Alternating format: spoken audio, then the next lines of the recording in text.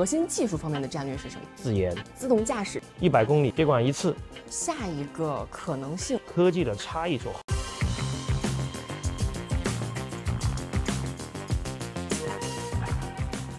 这么多年以来一直秉承的在核心技术方面的战略是什么？首先科技的最重要的差异化来自于 AI 和软件，但是底层来自于硬件、质量、成本的体系。AI 方面的整体的，我们大部分是自研或者联合自研啊，这是我们在一直在做的事情。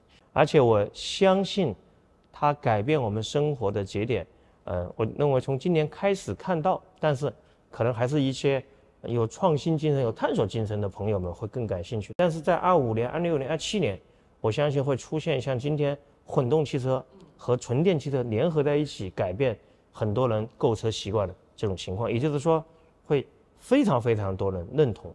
啊，什么时候认同？我认为就是当你安全放心的用智能辅助驾驶，让你在城市里面开一百公里接管一次，对，你就很喜欢。在未来五年，小鹏在自动驾驶这一方面有什么样的规划？我们期望能够做到在未来的。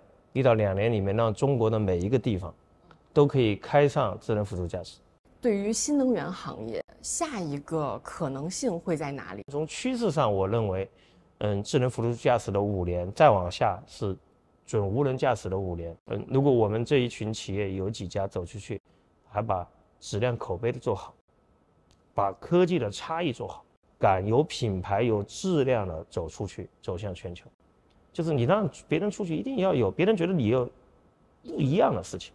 一个是全球化，一个是智能化，我觉得会是我认为下一个五到十年的一个巨大的一个变化的推动。